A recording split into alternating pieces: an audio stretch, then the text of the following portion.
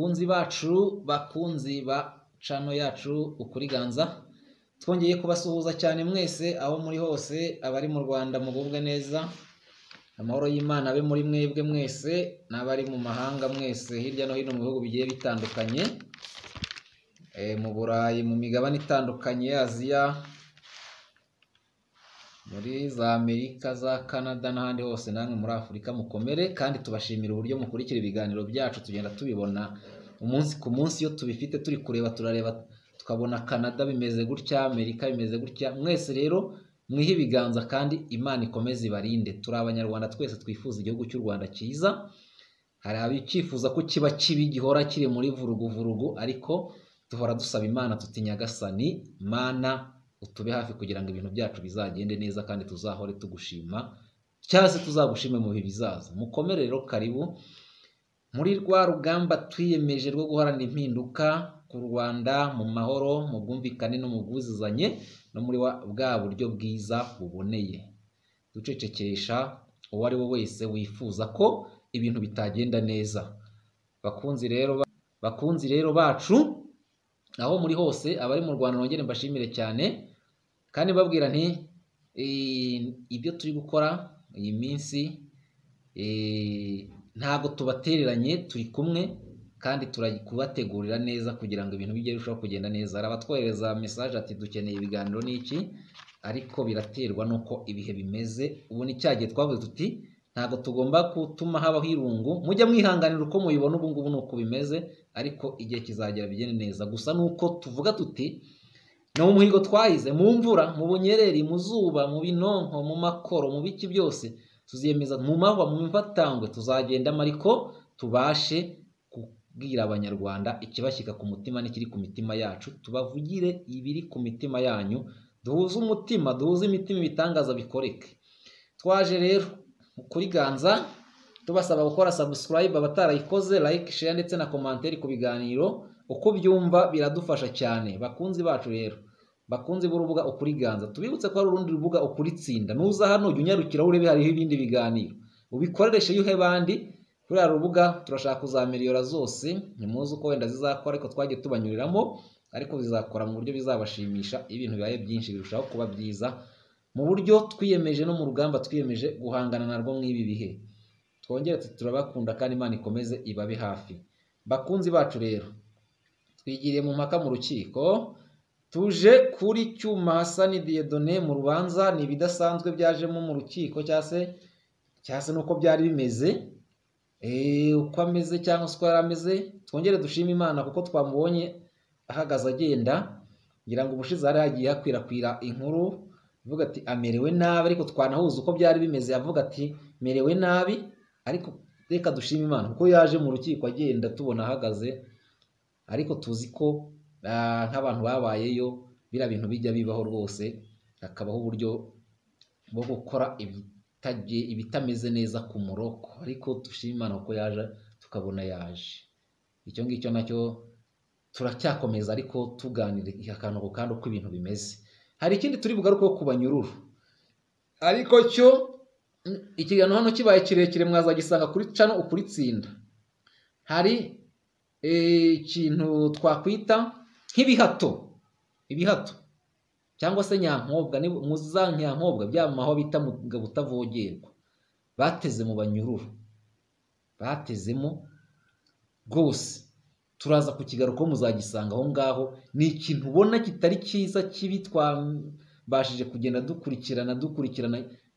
Ariko bashatse kucyita ko ari ikintu ngati turababariye gutya bizagenda gutya na gutya ariko muraza kucyumva. Nimutacyumva hano muzagisanga ku kuritsinda wenda hano kiraba cyabaye kirekire kugira ngo twubahirize ya gahunda yanyu yo kuvuga tuti tugerageze. Ibiganiro biba byinshi bitewe n'ibyo dufite. Twibuke kandi icyuma hasani.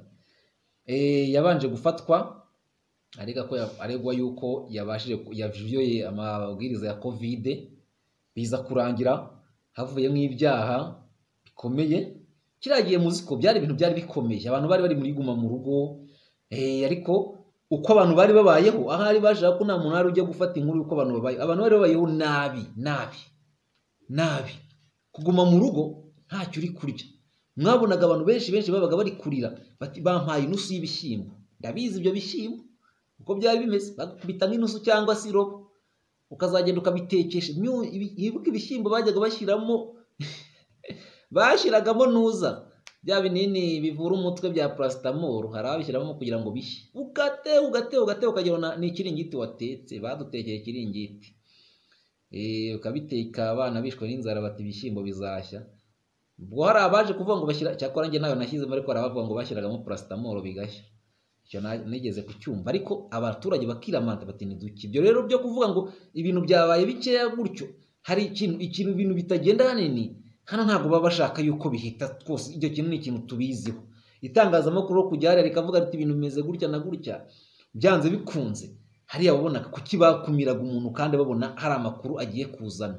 Hari n'ibyo idamange yavuze ati ngewe nerekane ko umurenge uyu n'uyu uri guhohotera abaturage utari kubaha ibyo kurya no mu bimfungire n'ibiki aho mwanyakiriye n'impuhwe ibyo ni inama iregerarite cyangwa se ibintu bitari byiza byagiye bigaragara muri gihe cya kovide cyuma nawe icyo gihe agiye batangira bati araviyora amabwiriza ya kovide n'ibiki biza kurangira bamurega bya byaha kwitirira itangazamakuru inyandiko mpimbano ndetse no kugambirira cyangwa se kubangamira ishyirwa mu bikorwa ry'imirimo y'ubutegetsi n'abategetsi ibintu nk'ibyo ngibyo cyangwa se gukoza isoni abayobozi. Cyaha cyo gukoza isoni abayobozi ari na yo cyajemo kiragumya. Noneho rero byaje kuza ko cyuma aburana mu rukiko arataha agirwa umwere. Baza kumujuririra. Baje kumujuririra rero baje rero kumujuririra birangira cyuma bamutaye muri yombi. Bitarangira bamutaye muri yombi ubu ngubu akaba ari hehe? Ari muri gereza ya hehe ya birangira rero cyuma ko mu rukiko rwisumbuye rumugize umwere biza kurangira bamujuririye cyuma. Abaye iki? Abaye umunyacyaha kuri bya byaha. Ariko hazamo n'aya makosa tuvuga aya makosa agenda akorwa niba ngo bararegeye ibyaha bataregewe birangira bamushinjije n'icyaha kitabaho. Kitabaho yuko kitabaho mu mategeko y'u rwanda. Ni bwo rero cyuma yafunzwe. Akarega yuko yafashwe mu buryo bunyuranyije n'amategeko ibintu byinshi byinshi byinshi binyuranye bikaba bifunze. Cyuma rero aza kugaruka nanone mu rukiko avuga ati mfunze nabi. Mfungiye ahantu habi. Mfungiye ahantu n'abantu bishe abantu bakabarimbura batafungirwa. Mfunzwe nk'ikihebe muri makeya ni na byo na rashidi nawe yigeze kubigarukaho avuga ati nanjye mbayeho nabi mfunzwe nabi. Abanyapolitike bafite ibibazo abantu baregwa ibyaha bya bisa na politike cyangwa se bya politike. Na karasira ejo bundi mwumvise ko nawe yanze kuburana. Ese ubundi kuki karasira banga kumuzana mu ruhame? Bakashaka kumushyira kuri skype? Ku cyuma bamuzanye cyangwa se n'abandi babazana? Kubera iki karasira we bamwangira? Biterwa n'iki? Ku buryo bajya kumushyira nta n'amajwi atanumvikana n'ibiki. Ubushize nagiye mu rubanza rwe. Rwose wumva karasira utamwumva na gatoya. Urubanza rwa cyuma rero none rwari rwitabiriwe n'abantu bakeya bo muri famiye ariko nyine ikigaragara ni uko we n'umwavoka we n'abavoka be bamwunganiraga bavuze bati urubanza tugomba kuruburana tukarutsikamira tukerekana ibintu byatagiye bibamo bitari byo. Uburyo urukiko rwishe rwishe amategeko urwa mbere urukiko rwa mbere rwari rwakoze ibyagomba gukorwa ntabwo hagomba guhindurwa icyo cyemezo cy'urukiko. Kuvuga ngo cyuma ngo ntabwo ari umunyamakuru. Nawe kandi turi buze kukagaruka umuntu si umunyamakuru ngo w'umwuga ariko ikintu bita umwuga ni igiki ikintu warakigiye hari abantu b'abanyamakuru bagiye mu mahugurwa y'amezi angahe? Ariko ngo ikarita. Ngo udafite ikarita ya rms ngo ntabwo agomba kuba umunyamakuru. Ndashaka turaza tugiye gusa n'abasoma ikintu kimeze nka matorewa cyangwa se irangiza rubanza cyangwa se uko urubanza rwagenze turaza kurusubiramo neza tegisitore uko byagenze mu kanya rero ntimugire. Ariko ni cyo nagarukagaho umuntu yigiye ikintu amaze kukigira ni cyo kibazo kiba aha ngaha. Ikintu wigiye uzagikora ari uko baguhaye akoro. Urumva? Imodoka wiguriye amafaranga yawe uzayikoresha ari uko byagenze bite? Ari uko wahawe uburenganzira. Kandi wiguza mu mafaranga yawe. Uzayishyura mu muhanda. Ari uko baguhaye linye uvuye uzanye diporome y'uko wigiye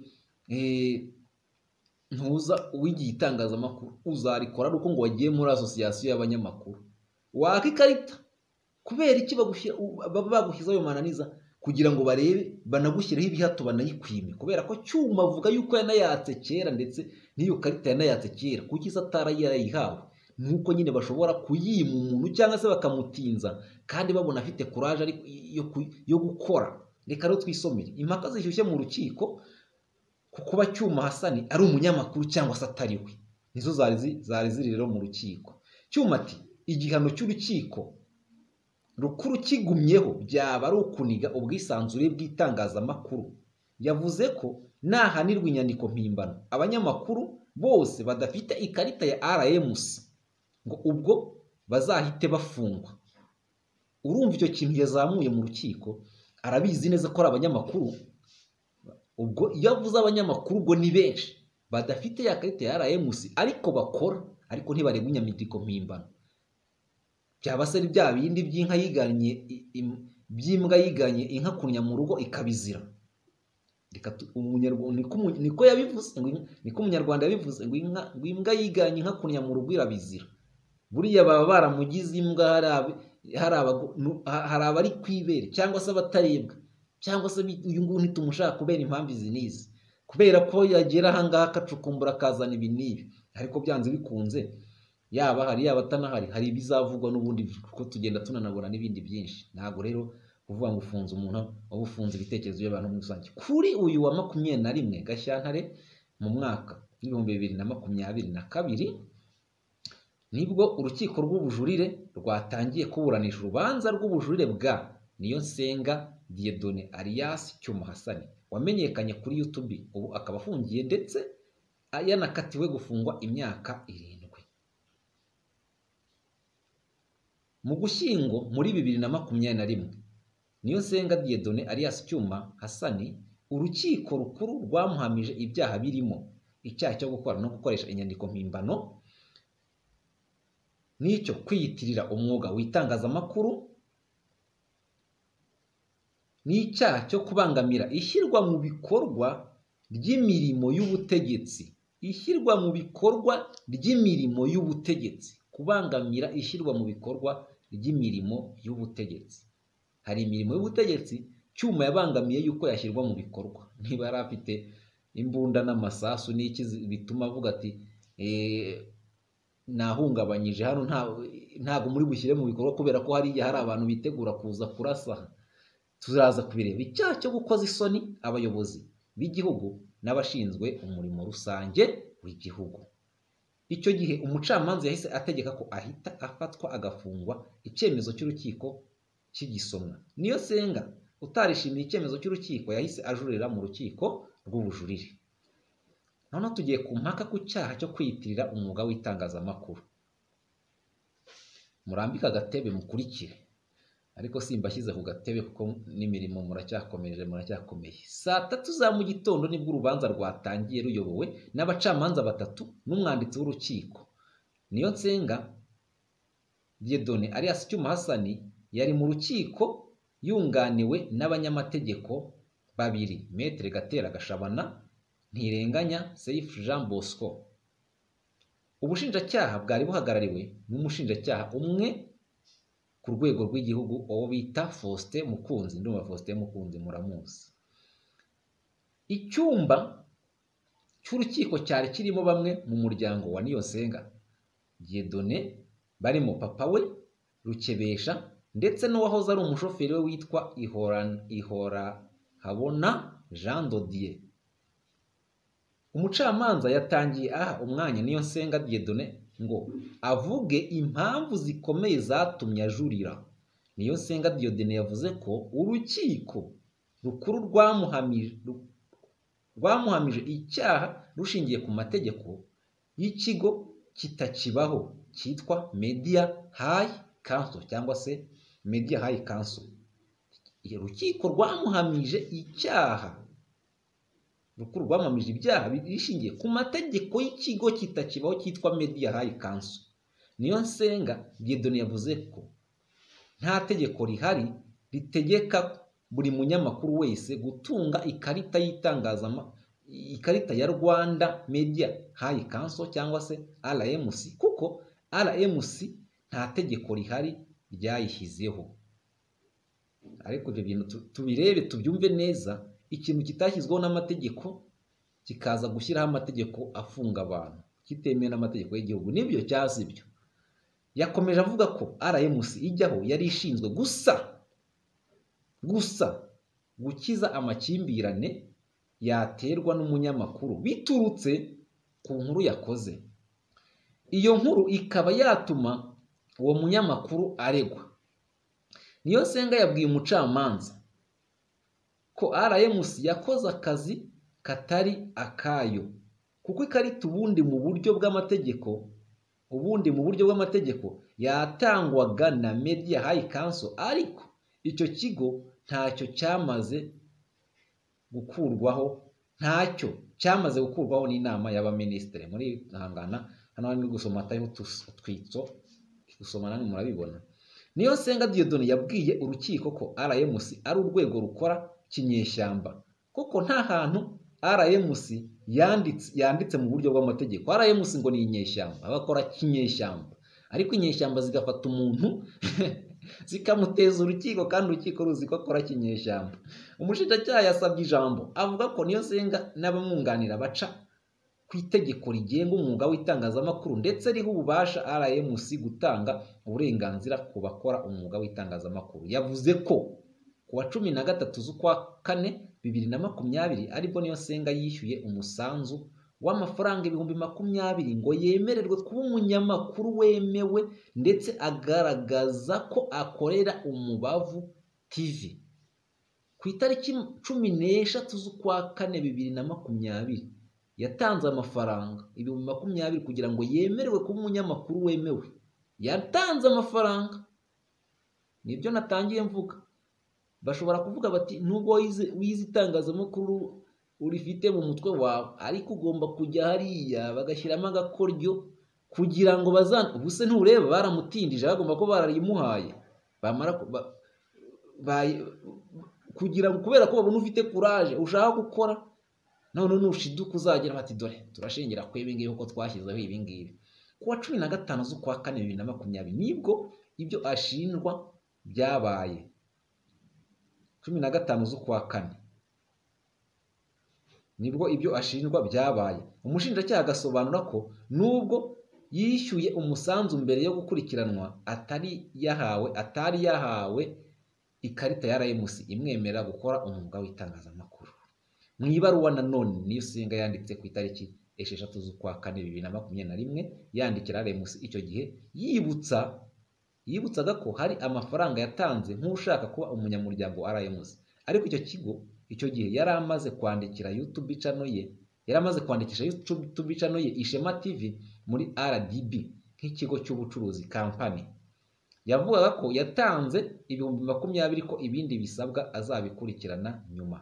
Urumva yaranditse ibarwa asaba yongera kwibutsa. Ko naba ko nanditse nsaba kubera iki mutamaye ko nanditse nsaba kubera iki mutamaye umushinjacyaha nawe yemera ko kuwa makumyabiri na rimwe z'ukwa kane bibiri na makumyabiri ubwo rmc yasubizaga urwego rw'ubugenzacyaha rib ku by'uko niyo nsenga yishyuye umusanzu w'ikarita ko bavuze ko yishyuye amafaranga makumyabiri mbere y'uko ibyo kumukurikirana bitangira ariko akaba yari ataremererwa kuba umunyamakuru wemewe. Kubera iki? Umuntu asaba bakamwihorera akandika bakamwihorera kugeza ubwo bamuteze ya mitego bamura. Icyo ajya avuga yari irimo. Ati icyo gihe niyo senga asaba uruhushya yabisabye nk'umunyamakuru wa umubavu tv baraca baraca ku itegeko nomero ebyiri zeru kabiri bibiri na cumi na gatatu ryo ku wa munani z'ukwa kabiri na cumi na gatatu. Iryo tegeko rigenga umwuga w'itangazamakuru mu rwanda. Kuko ingingo ya gatatu ivuga ko uburenganzira bwo gukora umwuga w'itangazamakuru umunyamakuru wemewe mu rwanda yaba umunyarwanda n'umunyamahanga. Ahabwa uburenganzira n'urwego rw'itangazamakuru ryigenzura. Urwego rw'itangazamakuru ryigenzura rmc kuba ishema tv youtube channel yari yanditse muri rdb ikaba inatangaza inkuru kuri interineti dusanga ibyo bi- bitaha uburenganzira. Niyo senga bwo kuba umunyamakuru ngo anambare ikarita y'umunyamakuru kuko nta burenganzira yabiherewe n'urwego rubishinzwe rmc uyu mushinjacyaha akavuga ko dogiteri wize ubuganga umunyamategeko cyangwa umu- um- umuga- umuganagaciro umuganagaciro batakwifata kubera ko babyize ngo buke babi- babikora batabiherewe uburenganzira n'inzego zibishinzwe. Ah ariko se tuvugishe ukuri.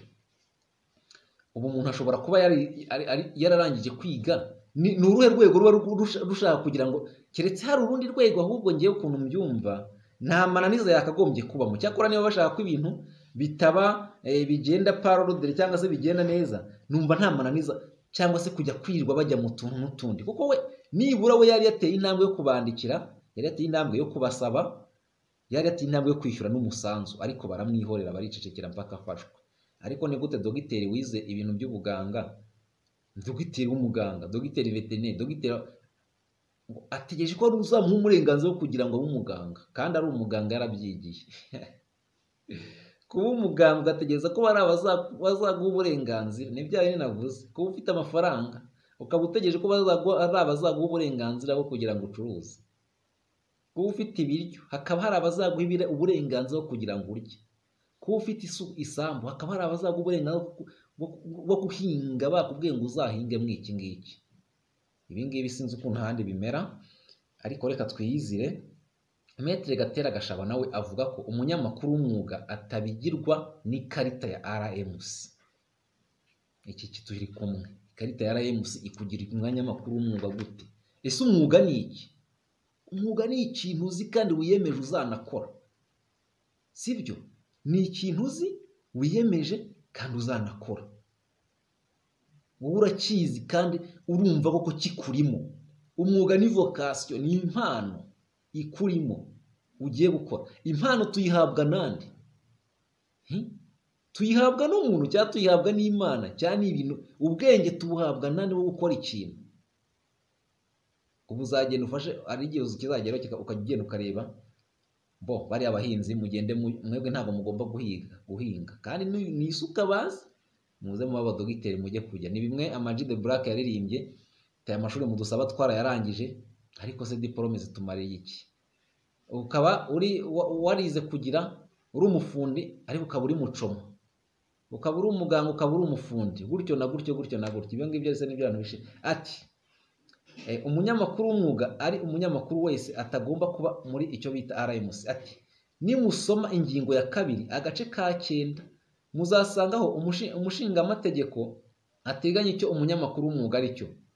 Ni umuntu ufite ubumenyi shingiro mu by'itangazamakuru kandi akora itangazamakuru nk'umurimo we w'ibanze.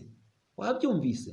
We yarebye uwo murimo niwo niyemeje gukora ariko afite agakeregeshwa kuko ya vocation ya mpano ayifite sibyo? None undi anabifitiye diporome y'uko yize itangazamakuru. Icyo gihe burya ufite na diporome nta ni bwo wakakwiriye kwijya muri agomba kuba nibura akora umwe mu- mirimo ikurikira. Gutara amakuru kunonosora inkuru gutanga amakuru mu bitangazamakuru n'ikindi kigamije gutangaza amakuru cyangwa gukwiza amakuru muri rubanda. Akavuga ko nsenga diyedoni nk'umuyobozi wa ishema tv yakoze ibishoboka arandikisha muri rdb nka nyiracyo. Akaba yari afite inshingano n'uburenganzira eh, bwo gushyiraho abakozi akabaha n'ibyangombwa byakagombye gushingirwaho yagize ati muzasanga ibyo yakoze n'ibyo akora ubu ari ibisabwa n'umunyamakuru muri iyi ngingo ya kabiri. Nimukomeza mu ngingo ya munani. Ubwisanzure bw'itangazamakuru n'ubwo kumenya amakuru buremewe kandi bwubahirizwa na leta. Ubwo bwisanzure bukoreshwa hakurikizwa ibiteganywa n'amategeko. Akazi ka Ni- ka niyonsenga diedene kakorwaga gashingiye kuri ibyo. Bwisanzure bwo kumenya amakuru no kuyatangaza. Akavuga ko urukiko rwibeshye muri uko kwi- kwibeshya rushaka kwambura niyo nsenga diyedoni uburenganzira yemerewe n'amategeko.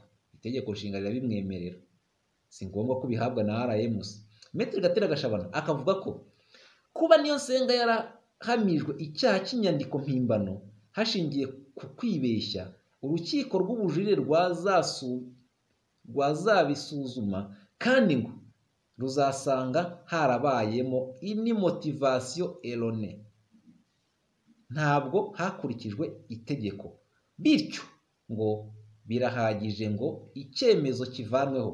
Metero ntirenganya sefu jean bosco umwunganira nawe yavuze ko rmc nta buzima gatozi ifite ndetse ko itagira itegeko riyishyiraho na sitati yayo. Nta sitati igira. Yavuze ko ingaga umushinjacyaha yagize avuga zitanga uburenganzira bwo gukora umwuga zifite amategeko yemewe azishyiraho. Metere gatera gashabana we avuga ko rmc ari urwego rudakurikiza rudakurikiza amategeko sitirigitire informere bityo ko itatanga amakarita itanabyemerewe n'amategeko. Yatanga amakarita gute kandi na yo itemewe n'amategeko? Nayo nta karita ubwigira muri rusange. Umwunganira mu mategeko kuva yatangira kuburana yabwiye urukiko rw'ubujurire bwatanze n'ubushinjacyaha ko bwajuririye mu buryo bunyuranyije n'amategeko. Kuko icyaha bwamushinje cyo gukoza isoni abayobozi kandi icyo cyaha kitakibaho. Metero ati turasaba ko ikirego cy'ubushinjacyaha mwazagitesha agaciro mu gufata icyemezo muri uru rubanza. Uretse iyi mpamvu yo kwiyitirira umwuga w'itangazamakuru n'icyaha cy'inyandiko mpimbano yabajijwe n'urukiko yabajijwe n'urukiko. Cyuma hasani ahakana avuga ko ari umunyamakuru w'umwuga uwumazemo imyaka umunani kandi yakoreye ibitangazamakuru bitandukanye. Mu zindi mpamvu zitatinzweho cyane mu zatumye ajurira ni kumuhamya icyaha kitakiba mu mategeko y'umwuga. No gusaba urukiko rw'ubujurire gutesha agaciro ubujurire bw'ubushinjacyaha. Metere gatera gashabana yasabye urukiko kuzarekura cyuma hasa n'iby'agateganyo nyuma yo kumara amasaha ane n'igice niyo senga diyodene atanga impamvu z'ubujurire bwe urukiko rwaje gufata akaruhuko rugarutse. Metere gatera gashabana yahise abwira urukiko ko ubwo uwo yunganira amusabira gufungurwa by'agateganyo urukiko rukagira ibyo rumutegeka yubahiriza. Metere gatera gashabana ko ibyo ari gusaba bigenwa n'amategeko. Ubushinjacyaha nabwo bwahawe ijambo buvuga ko bwanyuzwe n'ibihano cyuma hasani yedone yahawe. Ko bwumva nta bindi bihano byakongerwaho bijyanye biruta ibyo yahawe. Ubushinjacyaha bwavuze ko urukiko nirwiherera rwazategeka ko ibihano cyuma yahawe n'urukiko rukuru ari byo byagumaho. Cyuma yahise abwira urukiko ko ibihano yahawe n'urukiko rukuru bigumyeho agafungwa imyaka irindwi. Cyaba ari icyemezo kiniga itangazamakuru muri rusange no kwisanzura kw'itangazamakuru ngo nako kwaba kugize gute kuvuyeho. Cyuma yavuze ko icyemezo cy'urukiko rukuru kigumyeho. Byaba bivuze ko abanyamakuru bose bafite amakarita y'ibitangazamakuru bakorera bakorera. Badafite amakarita. Atangwa na rmc nabo bakwiye guhita bafatwa bagafungwa kuko nawe inyandiko mpimbano ari kuregwa none ari ikarita ya ishema tv yatanze ubushinjacyaha bugahita bumushinja gukora no gukoresha inyandiko mpimbano. Ati nabo babafunge. Ati nabo babafunge rwose. Iburanisha rya none ryamaze amasaha atandatu. Nyuma yo kumva impande ziburana umushinjacyaha yategetse ko apfundikiye iburanisha. Avuga ko urubanza ruzasomwa ku itariki cumi n'umunani werurwe bibiri na makumyabiri na rimwe. Cumi n'umunani werurwe bibiri na makumyabiri na rumwe.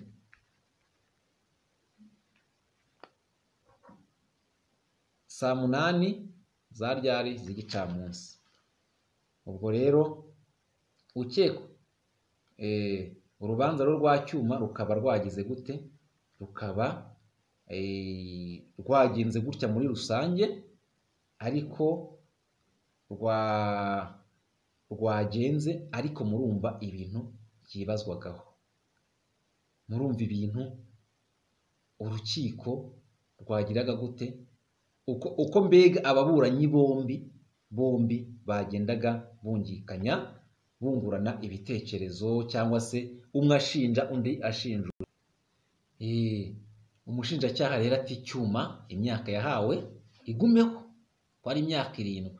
Nta mpuhwe zirimo nta miyaga ku mugani ntaki akanirwa urumukwiye kuko yiyitiriye umwuga w'itangazamakuru yiyitiriye umwuga yize yiyitiriye umwuga afitiye impamya bushobozi yitiriye umwuga yize muri kaminuza. Yitiriye umwuga amaze nk'imyaka umunani akora akorera ibitangazamakuru binyuranye.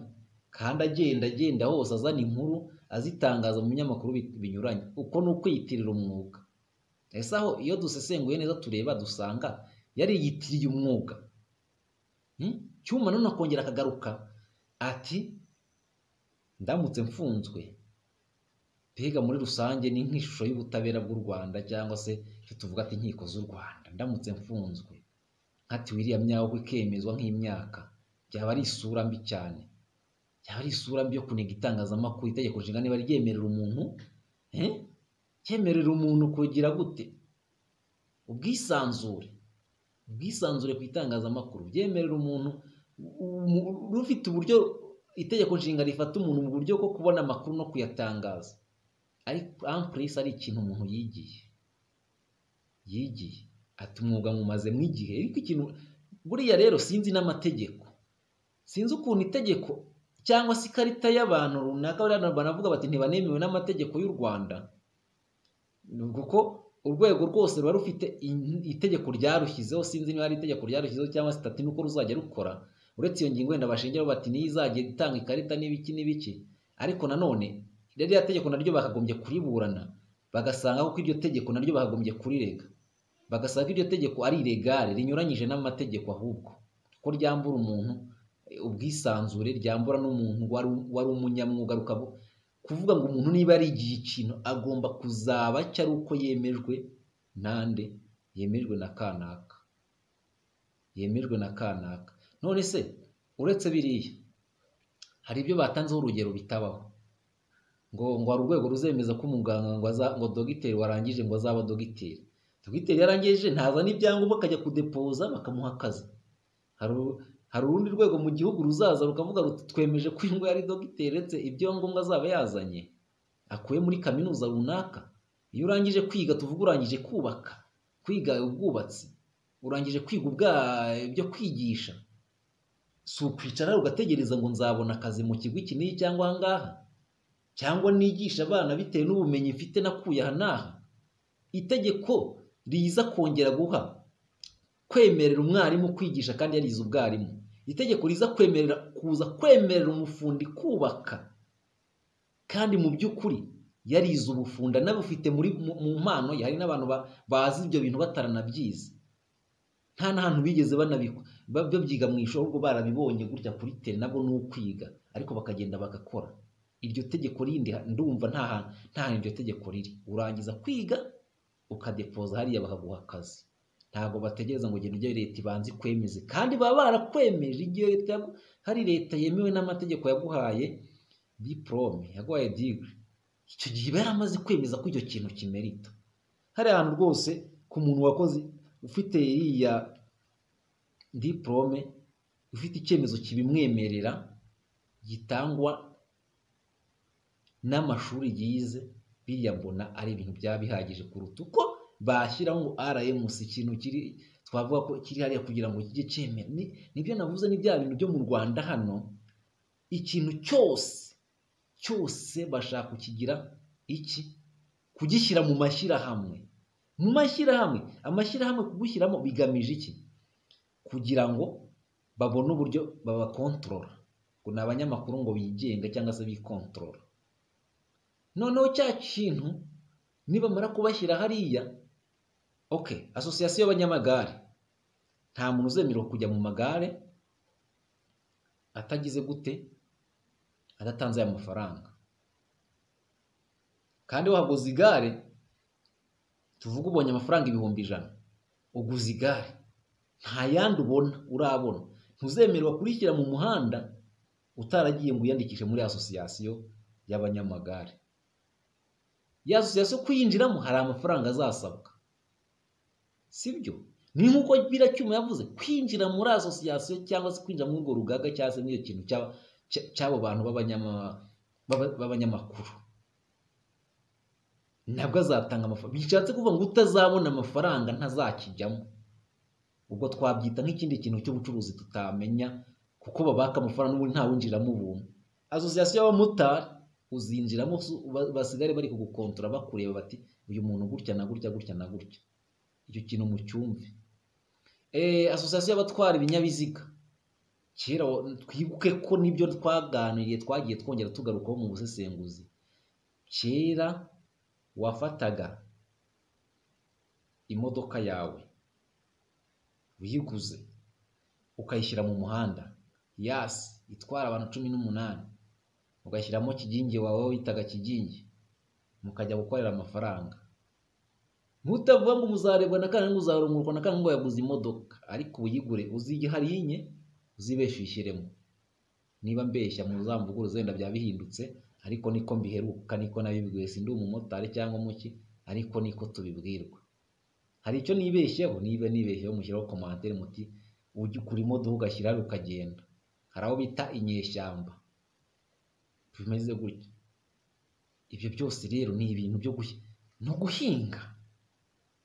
Niba utagiye muri asosiyasiyo y'abahinzi b'umuceri mujye muri asosiyasiyo urigurira ifumbire. Mwumva ibyo bintu? Wigurira imbuto wigurira abahinzi ukodesha umurima. Ushyiraho abazamu bo kurinda kurarira umuceri. Ushyiraho abazamu bo gucunga umuceri wawe ko inyoni ziwurya ku manywa. Ibyo byose. Nurangiza umaze guhinga umuceri wawe pakira mu mifuka. Unapakire mu mifuka. Udutware uduterekere hariya. Urabyumva. Udushyirire hariya. Ikiro cy'umuceri ni angahe kera mperuka gukorana ibiganiro n'abantu babo bavuga bati turakijyana. Umukiro cy'umuceri bakatugurira ku ijana na mirongo inani niba ijana na mirongo inani ari magana na mirongo inani. Naho ariko wareba ugasanga umuceri bawugaruye bawugaruye wa muhinzi. Bari kuwumugurisha magana inani magana cyenda imiceri muzi ukuntu iri guhenda ubu ngubu igihumbi ahangaha umuceri ugasanga wagiye kwikuba inshuro eshatu zayo wagurishijwe. Tugereranyije twagiye mu kugereranya. Ndavuga nti nko mu biro bibiri by'umuceri tuvuge bagiye kuwutonora pe. Havaho ibiro bingahe cyangwa se mu biro bitanu? Aravuga ati nta na nusuro bibaho kuko agashishwa kava ku muceri inyuma kugira ngo utonorwe. Ni akantu gato. Kera rusizi barawitonaga basekuye mu masekuru bakarya bagahahira bakagurisha bakagira gute? Ariko wumva icyo kintu. Ni nako no mu birayi bimeze. No mu birayi bati muhinge. Nimurangiza mushyire hariya do. Amashyirahamwe. Icyo kintu uracyumva. Ibintu byose byose byose byose ni amashyirahamwe ni amashyirahamwe ni amashyirahamwe. Ibintu rero byagombye kureba hari ahantu hagombye kurebwa cyane. Ikintu niba hari inyungu abantu babona muri aya mashyirahamwe bakajya muri aya mashyirahamwe kubera ko bayashaka. Ntibayajyemo kubera ko bayahatiwe. Ishyirahamwe ngiye nshobora kujyamo ngiye nemera nshobora no gushyigikira kandi tuzanashyigikira nk'imberakuri mu gihe cyose. Ni ishyirahamwe ritari nk'abariya nk'ariya amasosiyasiyo y'abamotari cyangwa ayo masosiyasiyo yose. Abantu bagiye mu ishyirahamwe ko bahuje umutima uko bahuje igikorwa ariko bagamije kuvuga ngo niba twatanze tugiye mu ishyirahamwe tugamije kugira ngo tuzagire inyungu zirenga izo dufite. Niba turi abahinzi tuzava mu rwego rw'abahingisha isuka. Tuzahingisha imashini kubera twafashe kotizasiyo yacu tugashyira hano kubera ko mu byo twahinze twagiye dukata ikiro cy'umuceri ku biro makumyabiri tugishyira hariya kugira ngo byegeranywe bizabashe kuzatugurira imashini yo kwagura yo gusimbura amaboko yacu. Tuzarinde tuve noneho muri bya bindi by'ubuhinzi buciriritse tujye mu buhinzi burenze tujye mu ba no mu ba jya gusura na hehe tunagure n'ubutaka. Tuzakora asosiyasiyo y'abamotari kubera iki? Kubera ko twishyize hamwe kuko abishyize hamwe nta kibananira ubundi izo asosiyasiyo ni iki? Kwishyira hamwe. Twishyize hamwe ubundi kubera iki? Ubundi amashyirahamwe yishyira hamwe kubera iki? Nk'ubu tuvuze tuzi asosiyasiyo y'abamotari. Yishyize hamwe ku zihe nyungu? Bamotari ndagira ngo tukigarukeho. Bishyize hamwe kugira ngo ba- eh, motari niba yakoze buri munsi atange magana atanu ni urugero muri asosiyasiyo niba ari abamotari ibihumbi makumyabiri bazatanga amafaranga agera mu bihumbi ijana. Wenda ni urugero ku munsi ni urugero bitewe n'ayo batanze. Bizagera mu mezi angahe? Bazava muri cya kimotari bagire bavuge bati hari uruganda rwubatswe n'abamotari batangiye asosiyasiyo rwa ruganda rujye rutanga produwizi neza za poroduwi batanze niko abamotari bari kunguka. Ni nako cya gisho bya bindi batanze bashoye bizagaruka kuri konti y'abamotari bavuge bati turi kuzamuka mu ntera. Ugera uve mu muhanda. Nuva mu muhanda hazaza abandi bajyamo. Wa mumotari nava mu muhanda azaba afite amahirwe yo kuba hari amwe yagiye atanga yagiye abyara inyungu wenda bavuga bati tuzaba tugera igihe runaka cyo kugabana tuzubaka ama etaje y'abamotari. Ukurikije igihe abamotari baba ari abakire barenze hano muri iki gihugu. Tuzubaka ama etaje tuyakodeshe tuzubaka mu bigo by'amashuri tuzubaka ibigo by'ama- by'amavuriro tuzubaka ibiki byinshi byinshi byinshi maze abamotari barushaho gutera imbere. Ubundi asosiyasiyo itabaye igiyeho ngo izakora ibyo ngibyo yaba igiyeho kugira ngo izakore iki? Ahubwo uzareba uzasanga kuko iyo misanzu bayitanga n'ibyo bike ariko se bijya hehe usanga benshi barira babogoza. Ahubwo bazabashyira hamwe bati twongere buri munsi twongere twongere twongere. Ni ujesiti yo kugira ngo bagire nk'ibyo rero rms ni na byo bavuga ati rwari urwego rw'abanyamakuru bigenga cyangwa se bigenzura. Rwari rugiyeho. Kugira ngo bajye bicara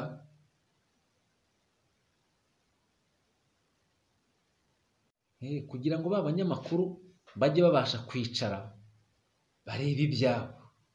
Barebe bati hano hari ahantu twakojeje hari ahantu twakoze ibitari byo. Mbega berekane utuntu tutagenze neza muri bo. Mbega banicare bana- ba- ba- banarengerane mu rwego rw'amategeko. Mu rwego rw'amategeko. Banahwiturane muri makeya bati oya hari ariko ntabwo byari byo. Badisikite bati hariya wabikoze nabi. Kubera ko ari abantu bahuje umwuga. Hari abafite ubwenge burengeje ubw'abandi. Hari abafite ibitekerezo birengeje iby'abandi. Hano twabikora gutya kugira ngo birusheho kugenda gutya. Bakungurana ibitekerezo muri rwa rwego rwabo nyunguranabitekerezo. Icyo ngicyo ni cyo mbona cyari gikwiriye kuba kibahuza cyari gikwiye no kuba inyungu. Naho igihe rero rwabatereranye cyangwa se rwabaye ubucamanza habura biriya byabaye kuri cyuma cyangwa se ibyo byose byabaye yagize gute yagize gute yaviyoye amabwiriza ya kovide mu gihe cyose bari bamuzi mu gihe cyose bari bazi ko yatse ikarita y'itangazamakuru. Daboro niba yari yanayatse yari yanateye intambwe yo kugira ngo yake. Bagomba kumutumiza bakanaganira bakumvika bati se byagenze bite? Ati ariko nubwo byagenze gutya ni mwebwe mwandisovye mwagomba kuba mwarampaye ikarita. Kandi narayatse. Kuyempirima se bisaba iki? Iminsi yose yashize kugeza n'ubwo yanditse yi- yi- yi- yibutsa. Kwempirima warasabye? Ni igiki cyagombaga gusuzumwa ku myaka yari imaze? Ni bya bindi nakubwiye ngo ibintu byo kuvuga ngo umuntu yigiye ikintu cyangwa ikintu arakizi kugira ngo uzacyemeze uz- uzemerwe icyo kintu. Nuko hari uzaza kugira ngo akikwemerere. Kugira ngo akwemere ko ukora icyo kintu. Uwo muntu rero ashobora kugutinza ashobora kugira gute kukuba- ku- ku- kukubangamira cyangwa se ashobora kukorohereza bitewe n'uwo ari we n'uwo uri we. Kuko na n'icyuma n'ibyo agaruka ati hari abantu b'abanyamakuru bakora itangazamakuru batanafite n'ayo makarita. Kandi abo bose turabazi kubera iki ni njyewe se ni njyewe nyiri urutwe runini rutarengwa n'imijugujugu. Icyo ngicyo ni cyo avuga. Kubera ibyo ngibyo bitagiye bibabaho. Ahubwo ni ni bwo agaruka ati ni za mpamvu za politiki. Kubera ko nakoze mu buryo wenda badashaka kubera ko bitageze gutya. Ni icyo ngicyo buri wese agenda abona kandi kigenda kigaragarira buri wese. Bakunzi rero b'urubuga rwacu eh, kuri ganza kuri kiriya kintu eh, no kuri ibyo byose no ku bindi byose tugenda tubona ibyo ari byose bigaragara harimo n'akarengane. Kuko buriya wakagombye no kwirukanka ku muntu. Ushingira ati yakoze iki kibi muri bya bindi avuga yiyitirira mwongere mbigarukeho. Mm? hari ikintu gishobora kuba gishaka guhungabanya u Rwanda gutera cyangwa se kugira gute? Wenda tuvuge hari nk'igihugu gishaka kumenaho u Rwanda amasasu ni urugero cyangwa se undi muntu uwo ari we wese. Ukagenda wiyise umusirikare wa RDF kugira ngo uzazane amakuru. Ni urugero njye ndi gutanga. Ukagenda ukazagaruka ukazana amakuru yababwira uti namenye amakuru nagiye niswe gutya. Uwo muntu mwamuhana yahanwa cyangwa ahubwo yahita afatwa nk'i- nk'intwari kuko yakoresheje sitarategi yo kugira ngo azane amakuru. Ni bya bindi bigaruka muri bya bindi rero uti banyarwanda mwicungire umutekano mukore ibi n'ibi mugire gute? Na biriya rero mu makuru yagiye atanga hari amakuru yagiye ubaye ushaka ko igihugu kigenda neza kiyoborwa mu buryo bushingiye ku mategeko nta kurenganya nta karengane ntacyo. Wareba uti mu byo yatangaje mu byo yavuze ariko nanabonye na sheni ye yaravuyeho. Ariko ukibaza sheni yavuyeho sinzi ngo niba baramuhatiye kubisiba niba ari ukugira gute simbizi bibaye byarabaye. Kandi atarigeze aregwa bimwe mu byo yatangaje na byo byaba ari ikibazo. Byaba bihita byerekana yuko ahubwo hari harimo ikibazo cy'ibyo yatangazaga nubwo bitabaga binyuranyije n'amategeko ariko bikagira abo bibangamira. Mu mikorere yabo bafite inyungu bagamije zo guhonyora ya mategeko. Guhonyora rubanda ariko wica amategeko. None ukabona ntaho uri bumurege kubera ko yakoze ibitanyuranyije n'amategeko. Hakabaho urwitwazo rwa biriya ari na cyo rero ureba umucamanza wa mbere yari yakize ubushishozi arareba ati uyu muntu nta cyaha aregwa nta cyaha kirimo rwose nagende asugire asagambe ibintu bye bigende neza amere neza rwose yo guhangayika. Ataha yabaye umwere kandi kuko arataha.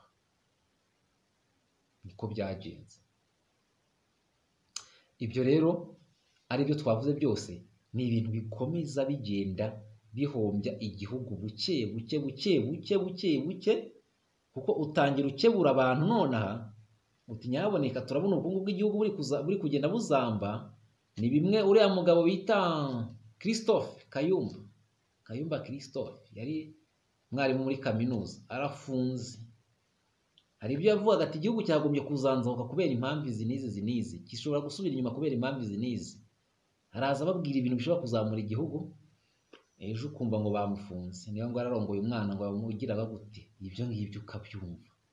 Abantu b'intiti bagombye kuzamura igihugu. Ejo ngo igihugu cyateye inyungu ngo kiri kugenda gitera shite igihugu ngo kiri kuri tanjante y'ubukungu. Mu bihe byashize aravuga ngo ibintu bimeze neza ibintu ni munange ibintu ni tayari biragenda neza. Ntabwo dushobora kugaruka mu nkuru ngira zagize ngira ngo ibyo iki kiganiro cy'ukuntu bari gushita biri kugenda igihugu gisubira inyuma mu bukungu. Twese turabibona abaturage turi kubibona. Uri no kujya ku isoko ukabura ikintu waha. Igihugu cyabuze hari cya- ugenda ukabura waba ukabura ikintu uhaha ukabura intoryi ukabura inyanya ukabura bya biryo by'iremezo by'ibanze abaturage bibatunga. Urumva ko turi kugenda tujya ahantu hatari heza kandi mu by'ukuri kubera turifungiranye. Turafungiranye. Twagombye kuba hari uburyo hafunguye igihugu abantu twagiye tuvuga tuti iri fungwa ry'imipaka rizabangamira abaturage. Ibibazo biri mu gihugu by'uko babuza abantu gukora. Ibintu byo kugira ngo abantu bamwe bashaka kwiharira ibintu bakuramwo abandi biriya byagiye tuvuga tuti ura- ura- urazana tagisi imwe izatwara abantu igihumbi. Kandi hari harimo tagisi nyinshi zitunze abantu benshi tagisi igihumbi zitunze abantu igihumbi. Ba ba bantu ariko basora. Umwe ashobora kurigisa umusoro ariko benshi kuwurigisa. Nibura nubwo warigiswa n'umwe mirongo icyenda n'icyenda cyangwa magana cyenda mirongo icyenda n'icyenda bawutanze. Igihugu cyazamuka. None rero uzatangira urira ngo igihugu kiri gusubira inyuma.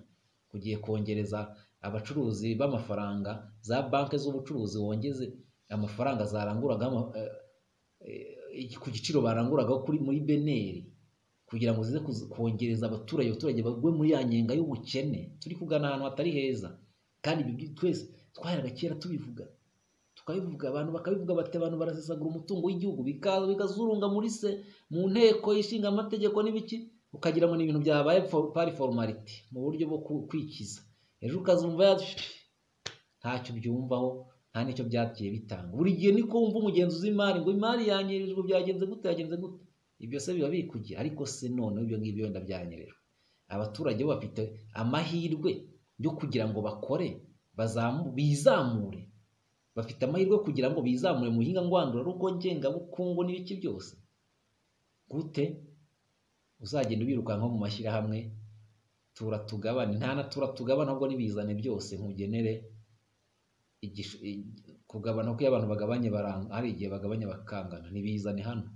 Ugenere mwarabyumvise wa muturage waganiraga na kenisi kuri tv wani avuga ati utanga ruswa y'ibihumbi makumyabiri na makumyabiri n'angahe niba ari bitanu kugira ngo baguhe umuceri wawe. Wihingiye ukihingira umuceri wawe ukarinda iyo utanga ruswa kugira ngo bazaguhe kuri wa muceri uryeho. Icyo kintu mujye mucyumva rwose aho ibintu biba bigeze. Hmm? biteye agahinda kandi mu by'ukuri birababaje tuvuze ngo birababaje. Ntabwo twaba tubeshye. Ntabwo twaba tubeshye rwose. Ariko ahakomeye ngo ni ho hava amakoma ni byo duhora tubwira abanyarwanda tuti nyaboneka mugerageze mugerageze. Ukuri ufite ukuvuge ukuri ufite ukuvuge abanyamakuru ubu ngubu bamwe arabo mu nyoha bari kunywa itabi ngo kubera ko cyuma yafunzwe cyangwa umubavu yafunzwe cyangwa se nde ati yaravugaga none dore baragize. Ariko ni bya bindi ngo biza tubireba tugaceceka. Ejo nawe hari igihe uzaturiya ukavuga kamwe. Mu byo ubona bitagushimishije kakurenze kubera ko byakurenze. Ati kiriya na cyo cyari kuzagira gute? Cyari kuzatuburanya. Mugishyire hariya. Mukaba umusanzemo tururururu gutyo gutyo gutyo. Kandi mu gihe yari ahari mwaragombaga gufatanya mu kubaka ibintu neza ibintu bikuzura mukamera neza kandi ugasanga nta kibazo na gitoya kigeze kiba muri bimwe mwakoraga. Kuko abantu benshi nibahaguruka bakavuga ukuri bakavuga ukuri mu mahoro ntawe babangamiye nta tegeko bije ntaki nyaboneka uwo wica amategeko azaba arinde A- uwo wica amategeko azabagira ati hari abagamije kugira ngo bazambye amategeko bayice uko biboneye? Maze nuvuga bagushyirayo kubera ko wabavuze kugira ngo bagumye bikorere ibyo bishakiye. Ariko igihe namwe muzabaganza mukavuga muri benshi mugashyira ukuri hanze muri benshi ibyo bizagorana. Ni byo duhora tubabwira rero ni na byo twahagurutse guhera mu mwaka w'ibihumbi bibiri n'umunani dushinga pesi mberakure tubwira abanyarwanda tuti muze dufatanye. Abo dufatanya turabashima. Turanabubaha kuko twiyemeje gukora urwo rugamba rwo guharanira impinduka z'abanyarwanda umunyarwanda ku wundi. Mureke rero tuzikomeze kandi tuzikomezanye. Dufatanye iki? Dufatanye urunana umuntu ku wundi ijisho ku rindi ukuguru ku kundi. Bityo muzarebe ko ibintu bitazarushaho kuba byiza. Turi kugana ku musozo rero w'ikiganiro bakunzi b'urubuga ukuri ganza reka nongere mbyibutse ukuri tsinda nako ni iki kiganiro cyacu. Uru rubuga narwo mukore subscribe like ndetse na share kuri ibi biganiro biriho kandi mukomeze muteze imbere ruzamuke rugere mu ntambwe nziza. Imana rero ibarinde